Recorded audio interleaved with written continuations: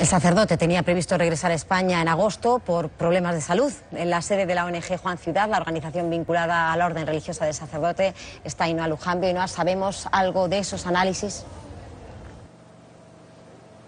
Todavía no hay resultado de los análisis, habitualmente tardan seis horas, pero es que el laboratorio de referencia que tiene que hacerlos en la capital, en Monrovia, en la capital de Liberia, está totalmente saturado. La última novedad es que cuatro de los religiosos que están aislados ya presentan los síntomas de esta enfermedad del ébola. Como decíais, uno de los más afectados es el padre Pajares y que ya ha expresado su deseo de venir a España. Por eso, desde esta ONG que colabora con el hospital donde ellos están aislados, están en permanente contacto tanto con el Ministerio de Asuntos Exteriores como en el de Sanidad para saber qué pasos tendrían que seguir en el caso de que tuvieran que regresar a nuestro país.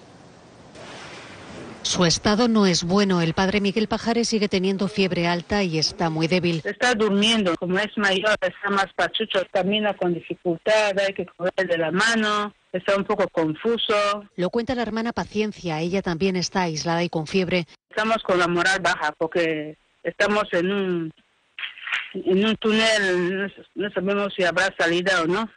No saben qué harán con ellos. A las personas que dan positivo al virus de ébola les están dejando en un hospital de aislamiento prácticamente sin atender, esperando a la muerte.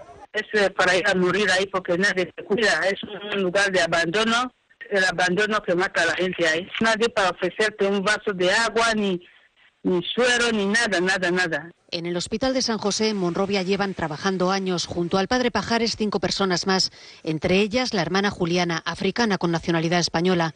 Ella está bien. Las otras dos religiosas no se recuperan. Lo decía esta mañana la hermana Chantal. No tenemos ganas de comer porque no hay apetito. Los que peor están son los que atendieron los casos de ébola que llegaban al hospital, entre ellos Patrick, director del centro que murió hace tres días.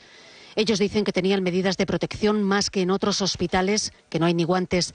En Madrid, en la ONG Juan Ciudad, a la que pertenece Pajares, siguen pendientes de las noticias que llegan de Liberia. De momento, toca esperar.